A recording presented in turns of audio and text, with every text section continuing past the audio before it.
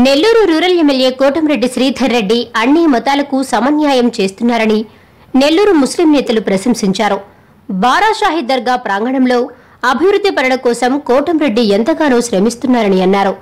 అప్పట్లో పేద ప్రజల కోసం పుచ్చలపల్లి సుందరయ్య లాంటి మహానుభావులు ఉన్నారని ఈ రోజుల్లో అలాంటి వ్యక్తిత్వం కోటంరెడ్డికి మాత్రమే సొంతమన్నారు. ఎక్కడైనా ఎమ్మెల్యేలను కలవాలంటే ఎన్నో ఇబ్బందులు ఉంటాయని అయితే కోటంరెడ్డి శ్రీధర్ రెడ్డి మాత్రం నేరుగా ఇళ్ళకే వచ్చి సమస్యలు తెలుసుకుంటాడని అన్నారు.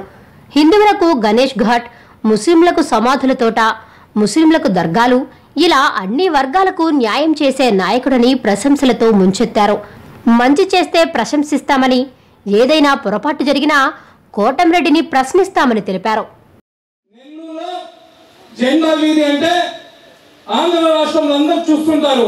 జిల్లా రాజకీయాన్ని మార్చే సత్తా జెండా విధిలో ఉన్న ముస్లింలకు ఉందని చెప్పి ఆంధ్ర రాష్ట్రంలో ఉన్న ప్రతి ఒక్కరు కూడా నమ్ముతారు. చాలా మంది నాయకుల్ని చూసినాం. ఆనం వివేకానంద రెడ్డి గారిని చూసినాం. అంతకుముందు కేవీ సుబ్బారెడ్డి గారిని చూసినాం.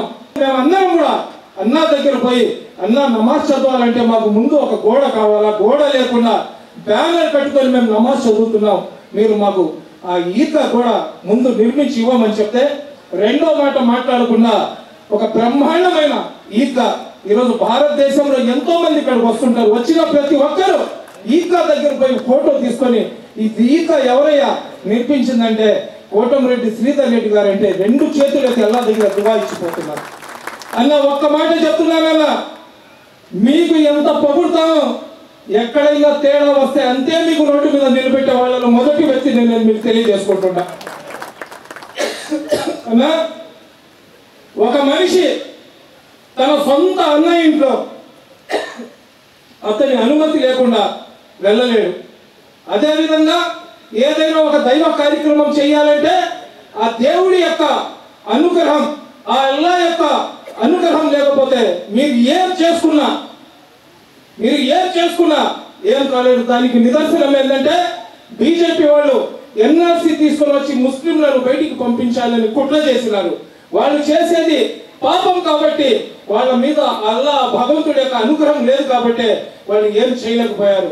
ఆ రోజు ఎన్ఆర్సీ వచ్చినప్పుడు ఆంధ్ర రాష్ట్రంలో నూట డెబ్బై ఐదు నియోజకవర్గాలు ఉన్న ముస్లింలు బిక్కు బిక్కుమంటూ జీవిస్తున్నారు.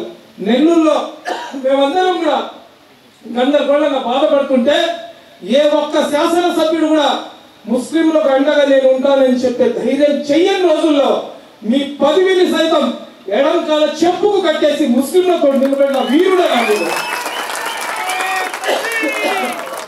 సోదరులరా ఒక ముస్లింలకే కాదు నియోజకవర్గం అంటే ఇక్కడ ఉన్న అన్ని కులస్తులను కుటుంబ సభ్యులాగా చూడాలా. పాత రోజుల్లో పుచ్చలపల్లి సుందరయ్య అట్లాంటి మహానాయకుల పేర్లను పుస్తకాల్లో చదివినాం మేము కళ్ళతో అయితే చూడలేదు.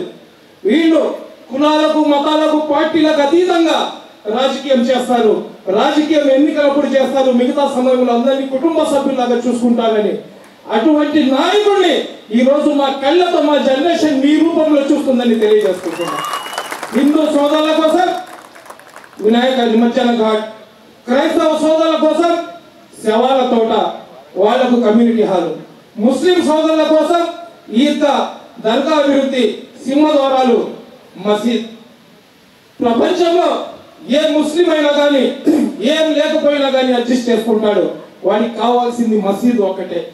ఎందుకంటే ఇక్కడ బాల షహీద్ ఉన్నారు. భారతదేశానికి ఔలియాకరంగా కరాం దేశ్ అంటారు. అంటే ఎవరైతే స్వాములు ఉన్నారో వాళ్ళందరూ కూడా ప్రపంచంలో ఎక్కువ భారతదేశంలో ఉన్నారు. ఎవరు ఎక్కడ ఉన్నా కానీ ప్రతి ఒక్కరూ ఔలియా కానివ్వండి ప్రవక్తలు కానివ్వండి రిక్షా తొక్కేవాడు కానివ్వండి అడక్క తినేవాడు కానివ్వండి కల్మా చదివిన ప్రతి ఒక్కరు కూడా అల్లా దగ్గర తల వంచాలా? అటువంటి అల్లా గృహాన్ని మీరు ఇక్కడ కట్టున్నారు కాబట్టి అల్లా యొక్క చల్లని దీవెనలు మీ మీద మీ కుటుంబం మీద ఉంటుందని చెప్పి తెలియజేస్తుంది మీ అందరి సమక్షంలో మీ అందరి మాటని నేను అందరిని అడుగుతున్నా ఎక్కడ ఉన్నావన్నా నువ్వా రాజకీయ నాయకుడు అంటే ఇంట్లో కూర్చొని ఉండాలా? మేము గేట్ల దగ్గర నిలబడాలా? మీరు ఆఫీస్లో కూర్చొని ఉండాలా? మేము గేట్ల దగ్గర నిలబడాలా? మీ కన్వెంట్ ఒక యాభై వందో ఇవ్వాలా? అప్పుడు మీతో మేము కలవాలా? మీతో కలవాలని మేము అనుకుంటాం. మా ఇంటి దగ్గర వచ్చేసి ఎమ్మెల్యే ఎక్కడ ఉంటావా నువ్వా ఇట్లాంటి ఎమ్మెల్యేను అల్లా మాకు ఇచ్చినందుకు అల్లా సుభానతాలకు ముక్కోటి దేవుళ్ళకు ఆ యేసు ప్రభుకు ధన్యవాదాలు తెలియజేసుకుంటున్నాం.